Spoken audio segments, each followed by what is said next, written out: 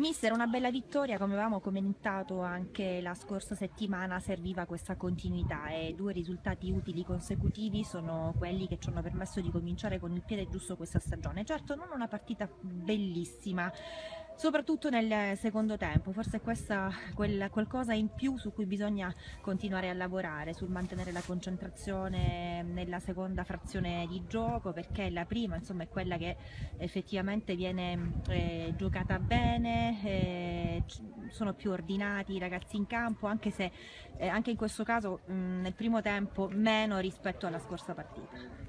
Sì, è vero, uh, sembra quasi che una volta magari acquisito un risultato, infatti sul 3-0 ci siamo abbassati, sembriamo accontentarci, quindi mh, dobbiamo sicuramente migliorare da questo punto di vista perché proprio lì in quel momento uh, dove puoi iniziare a gestire meglio la palla, magari ti abbassi, ti accontenti, non hai fame, invece dobbiamo stare concentrati fino all'ultimo, fino all'ultimo minuto e portare a casa la partita nel migliore dei modi. In questo dobbiamo migliorare. Eh, sì, cerchiamo di trovare sempre il pelo nell'uomo ovviamente, ma diciamo, godiamoci questa, comunque questa vittoria importante con 4 gol.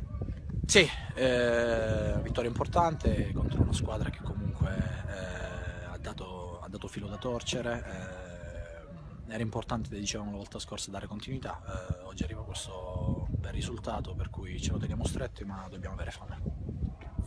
Un altro gol, sì. eh, simbolo di questo tuo miglioramento continuo. Sì. A chi vogliamo dedicarlo questa volta? Eh, Matarrasso, eh, grande capitano.